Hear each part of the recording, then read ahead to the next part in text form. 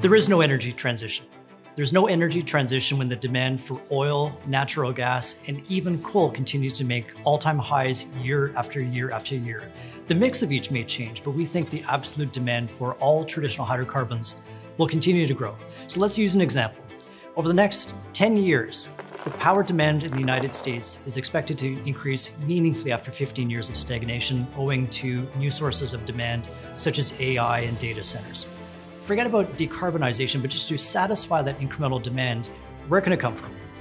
It would require the construction of about 126 nuclear reactors, in contrast to about 92 that exist today. Were it to come from wind, you'd have to build 115,000 wind turbines. And were it to come from solar, you'd have to build out almost 5 million acres of solar panels, which is about six times the current install base and equivalent to the size of New Jersey. And that's just one example of why the world needs an all of the above approach, why one form of energy, be it solar, be it wind, be it oil, be it natural gas, is not the solution. We are in a phase of energy expansion in a world where population is going to grow by 25%, all in areas where their energy demand, their oil consumption is very, very low relative to Western standards. But as global GDP doubles over the next 20 years, so too will its demand for all forms of energy. And so banish from your mind this notion that there's some magical energy transition. There is only energy expansion.